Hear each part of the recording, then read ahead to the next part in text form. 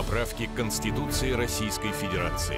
Почему важна поправка о запрете чиновникам иметь двойное гражданство и счета за рубежом? Если человек находится на государственной службе, он должен заниматься процветанием своей страны, а не процветанием другого города или другого государства. Потому что не должно быть в высшей власти засланных казачков.